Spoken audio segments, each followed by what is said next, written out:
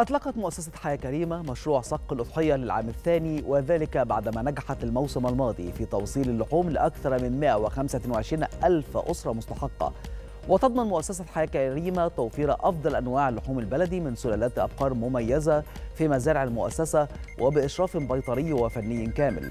وأعلنت المؤسسة أن لديها قاعدة بيانات كبيرة من الأسر الأكثر استحقاقا في كل محافظات الجمهورية يتم الوصول إليها بالإضافة إلى قيام المؤسسة بتحديث البيانات بشكل مستمر لتحديد احتياجات الأسر المختلفة والتي تضم الفئات المستحقة من المرأة المعيلة والمسنين والمرضى والأرامل والأيتام.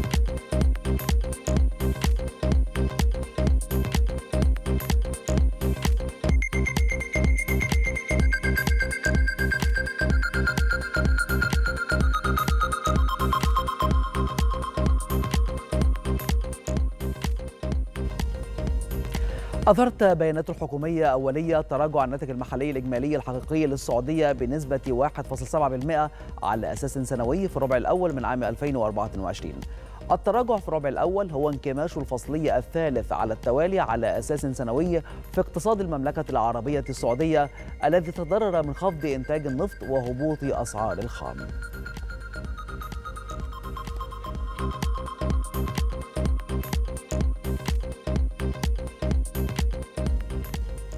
أكدت وزارة المالية الإسرائيلية أن إسرائيل سجلت عجزا في الميزانية قدره 10 مليارات شيكل أي ما يوازي مليارين وسبعمائة مليون دولار في مايو.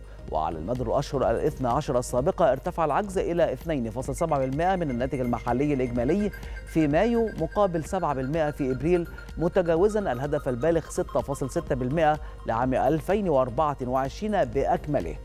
هذا وبلغ الإنفاق على الحرب على غزة التي بدأت في أكتوبر الماضي 70 مليار شيكل.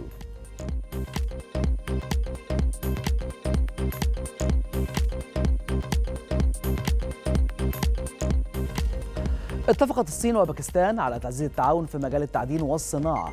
وأكد بيان مشترك أن الصين ستعزز التعاون مع باكستان في مجالات مثل موارد النفط والغاز البحري وستشجع الشركات الصينية على المشاركة في تطوير مناطق النفط والغاز البحرية في باكستان.